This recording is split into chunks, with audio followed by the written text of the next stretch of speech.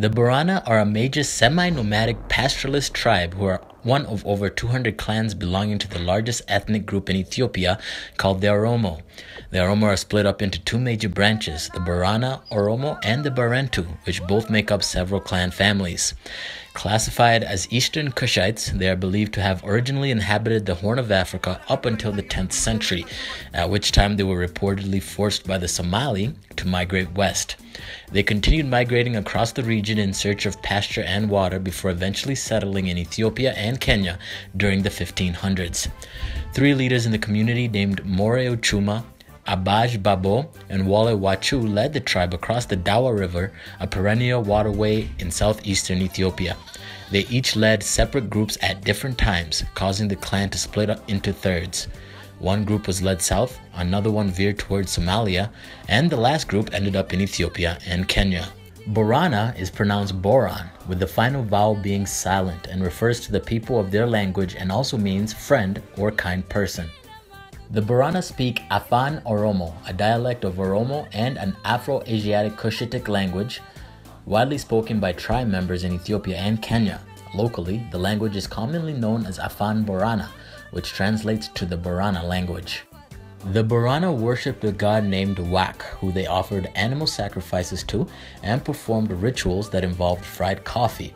According to their beliefs, Wak was the source of all good things in life, especially the rain. When the Borana prayed, they would touch the ground and worship the sky because it produced rain, which then entered the ground and produced life. The Borana include 17 clans divided into two subgroups called the Gona and the Sabo. As a community, they recognized four kind of leaders.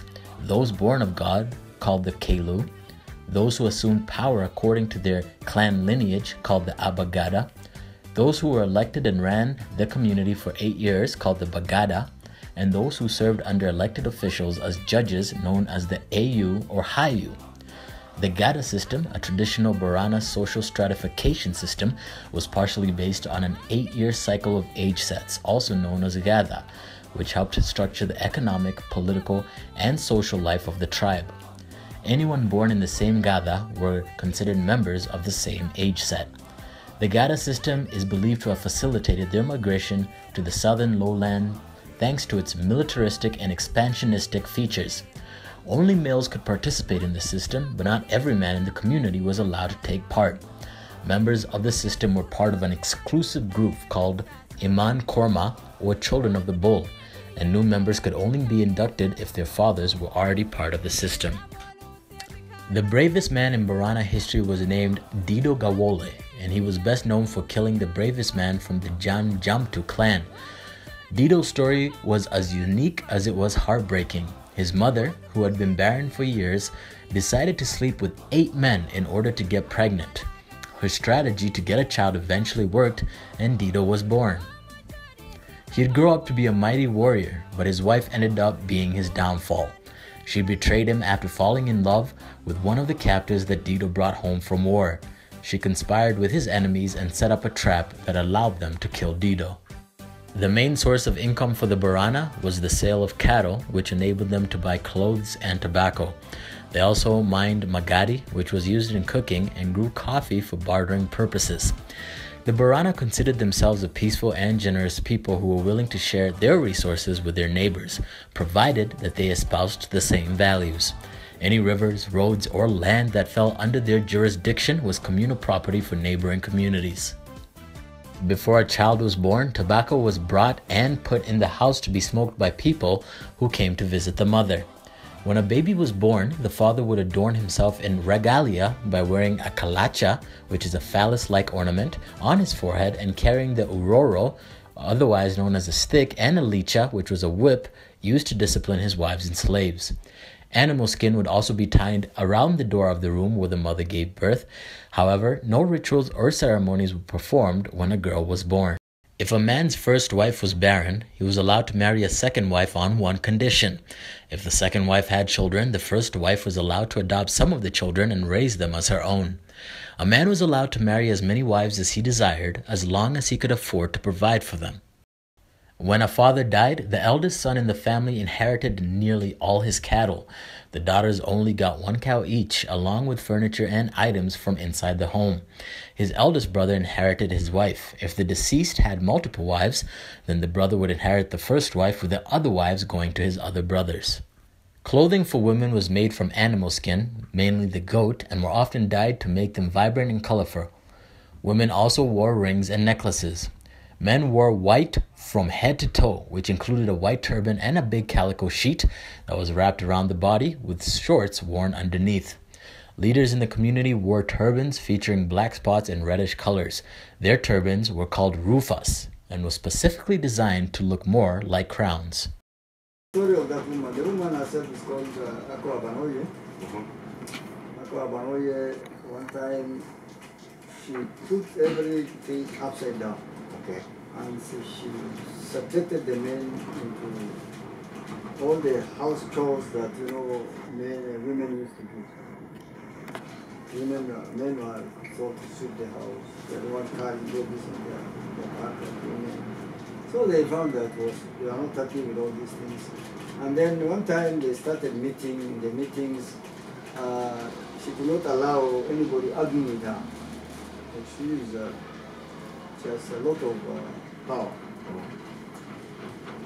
So one time she said, all right, she thought of impossibilities. She said, bring shoes that has hairs from both sides. You know, they make their, their hairs from, their shoes from the animal skin. Mm. Then she, she says, brings uh, shoes that has hairs, hairs from both sides. One of this is impossible. Then they said, animals should not be released for, uh, for, for, gra- for grazing and they should not remain at home. Mm. And this is also impossible. Mm. And then they were told, all right, bring a, a bag full of fleas. Fleas. You know what fleas are? Mm. And they found this is also very important. They started meeting and say, trying to, you know, uh, trying to look for an answer to this jigsaw, and they could not find it. Mm. And then was one poor young boy Mm. who gave advice, Mm. just maybe through the through the intervention of God. I don't know. The little boy became a good brave and said, "All right, guys, uh, what were you told in the meeting?" And people just despise the little boy for about three, four times. Then the third time, one old man said, hey, "Could you just please uh, hear this little man? What is he trying to say?" Then the guy says, "All right, the shoes that has um, the shoes that has uh, hairs from both sides are the uh, the the ears of the of the donkey. Very interesting. Ah. Then the Borana said, all right. They started cutting the donkey's uh, ears. You know, they are long, almost like a, like a shoe.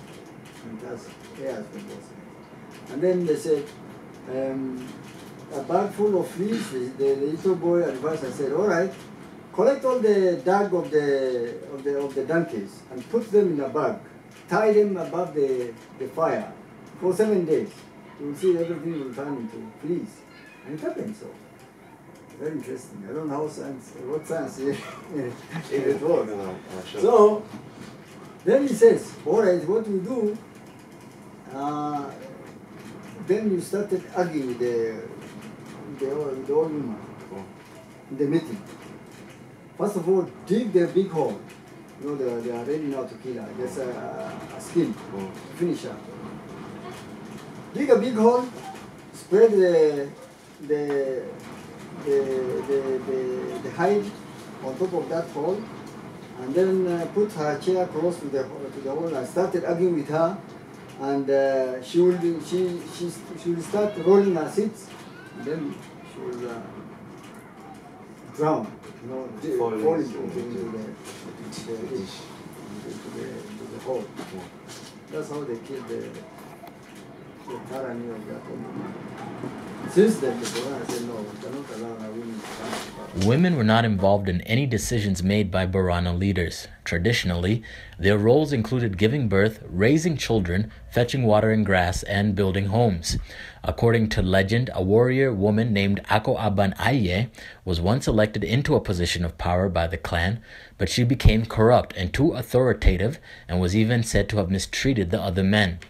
It's said that she forced all the men to do their house chores, including sweeping the house and carrying babies on their backs. To get rid of her, the men in the clan designed a trap. They dug a deep hole in a place called Liban, covered it with animal hide, and put a seat on top. They invited her to sit down, and she fell to her death, marking the last time a woman ever held any position of power within the tribe. Women had minimal influence in the community except for the Khalidi, wife to the Kelu, who was elected from a specific clan as a virgin and was not supposed to bleed, even for circumcision or to get her ears pierced. Women were also tasked with building houses for their husbands and children.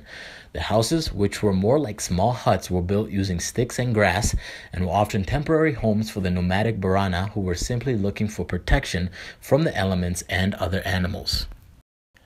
Boys from the same age set were circumcised at the same time, while girls were circumcised individually.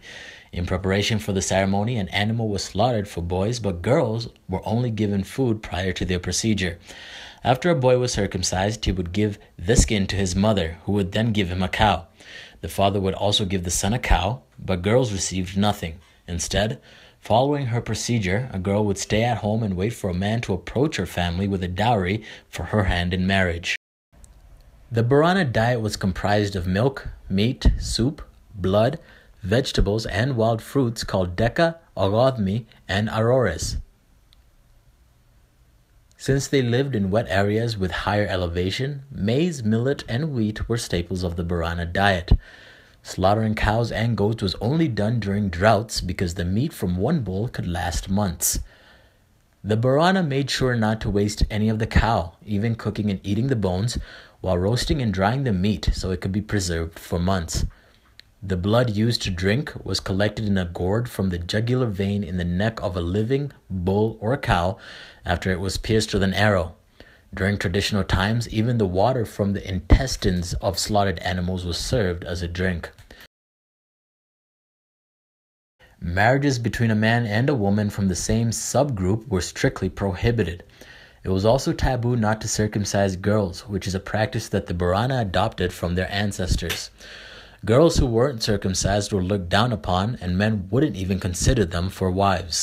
When someone had committed a crime or dishonored the clan, they would be brought before the Ayu, who would make a judgment on whether they were guilty or innocent after hearing their case.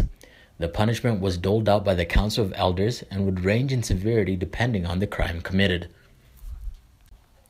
Blacksmiths in the Borana clan were very resourceful and valuable. They made pangas, hoes, and arrows in addition to milk containers made out of animal skin.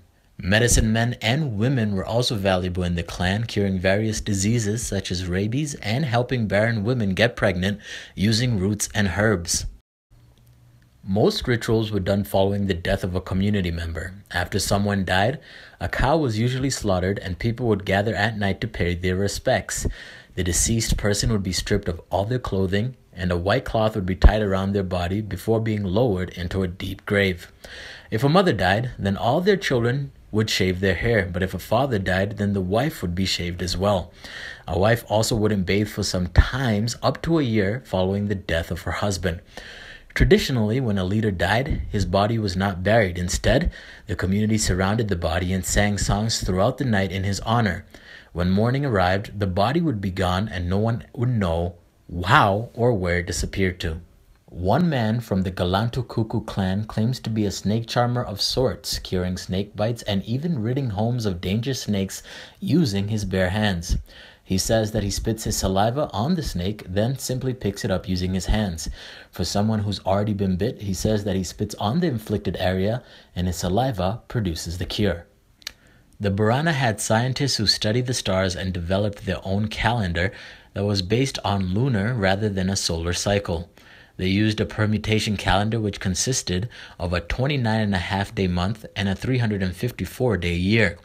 The calendar doesn't include weeks, rather, each day of the month has its own name. Since there are only 27 days in a month, the first two or three days are used twice at the beginning and end of each month. Homes were built from right to left of the village, and clan members were housed according to the seniority. For example, only the youngest people in the clan were housed in houses located on the left side of the village. Today, the majority of the tribe's nearly 4 million Cushitic speaking people live in Ethiopia, in Liban, and Dire, with a small percentage spread across Marsabit County into Tana River and Garissa County in Kenya's northern region. A small refugee population also live in Somalia.